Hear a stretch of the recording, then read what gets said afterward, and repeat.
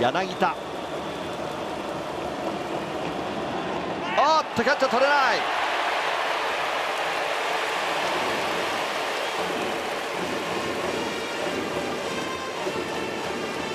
ウィーラーの素晴らしいプレーがありました。しかしその後。チェンジアップですね。チェンジアップですね、え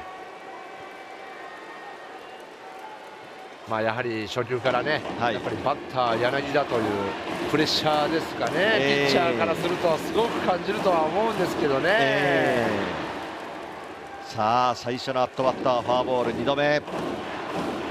ご覧の成績です。あーデッドボール。柳田デッドボール。右肘の近くか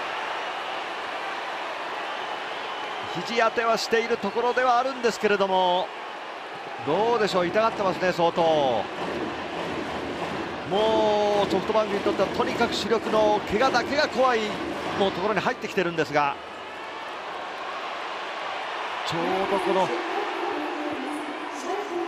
右脇腹とその肘ですね右肘の、そうですね、え肘の上のあたりだったら結構腫れますからね、えーしかもトリプルスリー目前というところでとにかく怖いのはもうこうなってくると怪我なんです。2本のホームラン楊大監とレアードにホームランツーランホームラン2本打たれてマウンドに沈んだというこの横山。その後4月16日チャンスをもらって西武戦先発したんですがこの時も5回途中8安打4失点ナックアウトというところでそれ以来の登板ということになっています。横山隆明。まあ、楽天にとっては期待の投手であることは間違いないんですがさあファンの皆さん心配そうですねボニスさん。ねえ。そうですね、えーま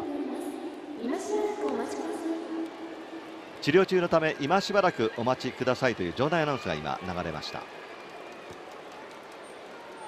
工藤監督が今ジェスチャーマジでベンチで何事か話しておりますけれども。あ出てきましたね。出てきました。この様子だと大丈夫そうですかね。あ、まあ、痛いと言わないでしょう、言わないですかね、吉田選手であればね。ええ。そうですね、え。えー元気にそのギータ。柳田の姿がまた登場してきました